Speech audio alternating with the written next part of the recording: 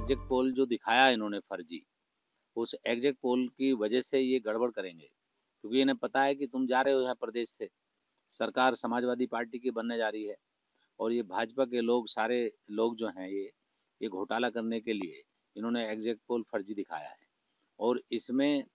हम लोग मुस्तैदी से रात के अब वैसे दो दो ढाई बजने वाले हैं,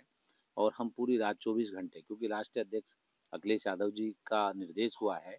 कि अपनी मशीनों की देखभाल करें और जहाँ स्ट्रॉन्ग रूम है, वहाँ पे मुस्तैदी से रहे तो हमारे बहुत सारे लोग चारों तरफ़ जहाँ स्ट्रॉन्ग रूम रखा है, उसकी 200 मीटर की दूरी पे सब लोग खड़े हैं